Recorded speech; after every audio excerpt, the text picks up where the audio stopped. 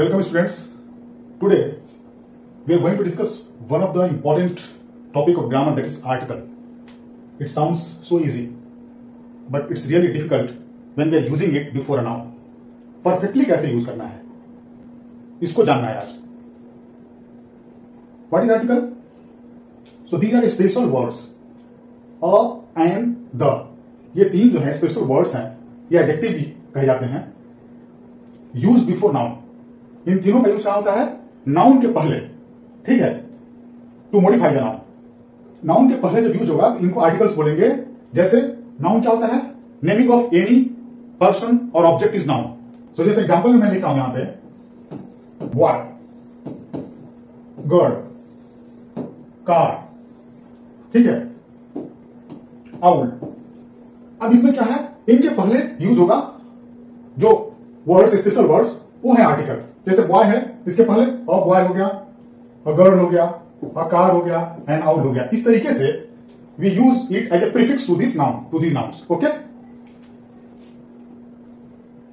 अब आगे आर्टिकल को समझने के लिए it is divided into two parts first one is indefinite article and second is definite article so indefinite article में there are two articles which are coming under this indefinite article a and and क्या definition होगा indefinite article का?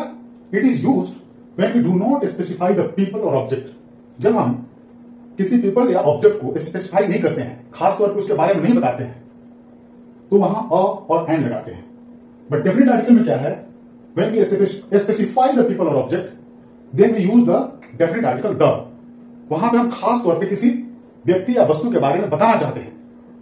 ठीक है?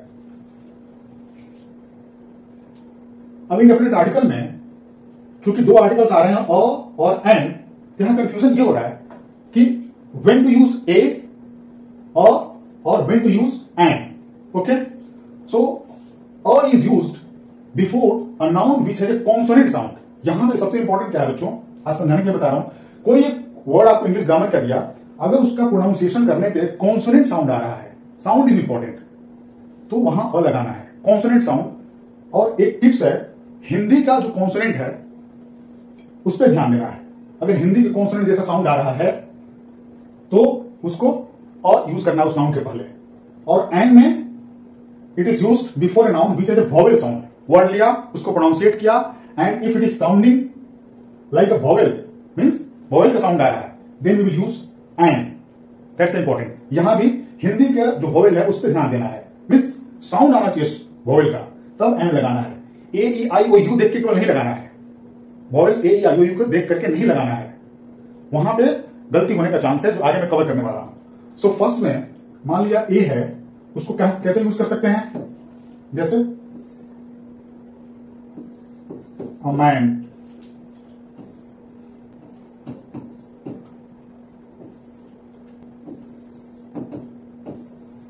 इस तरीके से आप जब प्रोनाउंसिएट करेंगे मैन को so this man is pronunciating as a consonant consonant की तरह इसको साउंड कर रहा है मैन तो इसके पहले ए लगा दिया। बॉय को बॉय सो यहाँ पे कॉन्सोनेंट साउंड आ रहा है। ए लगा। गर्ल में भी कॉन्सोनेंट साउंड आ रहा है। अ लगा। देन कोई भी, अगर कार सो यहाँ पे भी कॉन्सोनेंट साउंड आ रहा है तो इसलिए ए लगा। लेकिन एन कहाँ लगेगा? जहाँ पे वॉवेल साउंड आएगा। एग्ज़ाम्पल के लिए जैसे ए लिख दिया। एग ए ये जो साउंड आ रहा है वो कौन? वॉवेल साउंड आ रहा है, हिंदी का वॉवेल ए तो इसमें एन लगाना है एन एग ठीक है? आउल आउल में भी आप देखो, हिंदी के कौन? हिंदी के वॉवेल पर ध्यान दो आउल आ तो इसके पहले भी लगाएँगे एन आउल ठीक है?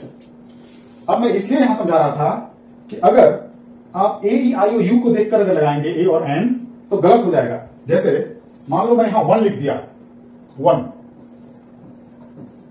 one rupee note one rupee note लिखा इसके पहले क्या लगाएँगे? वो तो वोवेल है, ठीक है? But one is not pronunciating as vowel one बोलने से इसका प्रोनाउंसिएशन या जो साउंड कर रहा है, वो वोवेल का साउंड नहीं आ रहा है। यहाँ पे आ रहा है कॉन्सोनेंट का साउंड इसलिए वन रूपी नोट के पहले होगा a one rupee note not and one rupee note यहाँ अ लगेगा। यही बताना चाह रहा था। वो देख के नहीं लगाना है। ए आई यू देख के नहीं लगाना है, बल्कि साउंड पे ध्यान देना है। So one rupee note not and one rupee note ठीक है? अब देखिए हॉनरेबल पर्सन मान लिख दिया। हॉनरेबल पर्सन इसके पहले क्या है? ऑनरेबल पर्सन में हेच जो है कॉन्सोनेंट है but it is sounding like vowel honourable person so यहाँ पे लगेगा एंड एंड ऑनरेबल पर्सन इस तरीके से अगर आप समझेंगे there is a minimum chance of doing mistakes okay I think it is clear now अब डेफिनेट आर्टिकल क्या होता है? जहाँ कि हम पर्सन या प्लेस को स्पेसिफाई करते हैं, खास तौर पे। Then we use definite article the the use करते हैं। डेफिनेट आर्टिकल क्या है? द जैसे एग्जांपल में the prime minister of India will visit, the prime minister of india will visit my district today. यहाँ क्या है? स्पेसिफाई किया है। Who will visit the prime minister of India so यहाँ पे स्पेसिफाई किया है पर्सन को। The person is the prime minister so यहाँ पे द लगा है। आर्टिकल द लगा है। Okay please pass the salt please pass the salt please नमक को मेरी तरफ़ पास कीजिए। यहाँ द क्यों लगा है? क्योंकि हम उस सॉल्ट की बात कर रहे हैं जो हमारे डिनर टेबल पे है। खास, ठीक है? स्पेसिफाई करके बता रहे हैं। Then we are using the before the short okay इस तरीके से, और एग्ज़ाम्पल लेते हैं। The boy I met yesterday